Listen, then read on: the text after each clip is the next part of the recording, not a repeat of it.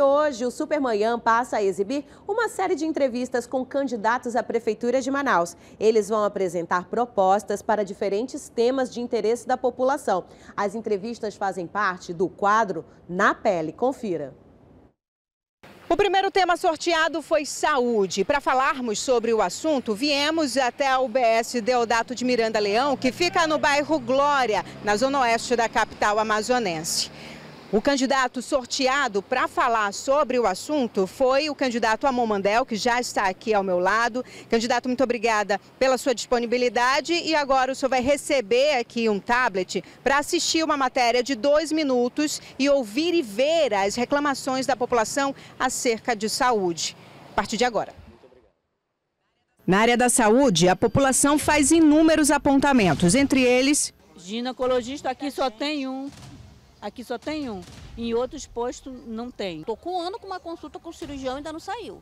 Eu tenho que operar do pedra na vesícula. Botar mais médico, remédio, que às vezes a gente vai nesses postos para pegar o remédio que o médico passa, não tem. A Tabata é mãe de duas crianças autistas e diz sofrer com a falta de medicamentos. A rede municipal não distribui mais a risperidona.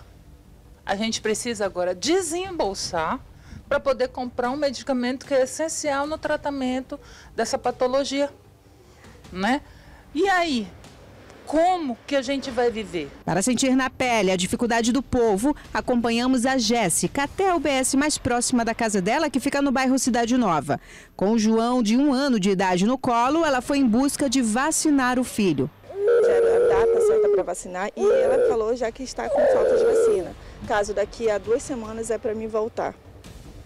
Isso não é a primeira nem a segunda vez que acontece isso. A dona de casa também conta que já ficou inúmeras vezes de madrugada em frente à UBS para conseguir atendimento para pediatria e a outra vez foi para ginecologista, por conta de lotação. Atualmente, Manaus possui 39 unidades básicas de saúde espalhadas pela cidade, sendo três na Zona Leste, três na Zona Norte, 15 na Zona Oeste e 18 na zona rural da capital. Além dessas, há também 40 unidades de saúde da família espalhadas por toda Manaus. Esses são dados da Secretaria Municipal de Saúde. Mas a pergunta que fica, Será que essa quantidade, de fato, atende às necessidades de mais de 2 milhões de habitantes? A isso, o que você vai fazer, candidato? Qual é as suas propostas, na realidade, para as UBSs? Candidato, o senhor ouviu aí né, os apontamentos da população, pelo menos cinco a lotação, a demora no atendimento, falta de médicos, falta de medicamentos, a quantidade de UBS. Então, acerca desses apontamentos, o senhor vai ter agora três minutos para poder responder e fazer suas considerações. Três minutos a partir de agora. Então, Uh, além da expansão da rede especializada, nós temos ali também um programa especializado para o fornecimento de medicamentos e a expansão da rede através da utilização das verbas federais para os agentes comunitários de saúde e cargos afins. Hoje, as verbas federais nessa área são subutilizadas pela Prefeitura de Manaus. Você poderia ter agentes de saúde indo até a sua casa, fazendo uma busca ativa e infelizmente esse serviço não é prestado de maneira adequada pela Prefeitura de Manaus. Visitamos Florianópolis, em Santa Catarina, e reunimos ali com o prefeito da capital do estado. Lá, a cidade investiu para a construção de um hospital municipal, com o valor equivalente a menos da metade do que foi gastado em tinta na cidade de Manaus. Manaus pode e deve ter esse tipo de serviço de saúde especializado.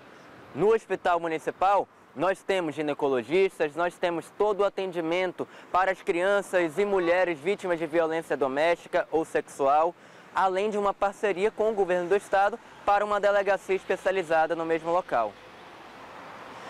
Essa e mais propostas estarão disponíveis no nosso plano de governo, que será disponibilizado ainda essa semana e que tem ali uh, a assinatura e coautoria de dezenas ou centenas de especialistas em cada uma das áreas que, foi que foram incluídas nesse documento que tem ali quase as suas mil páginas.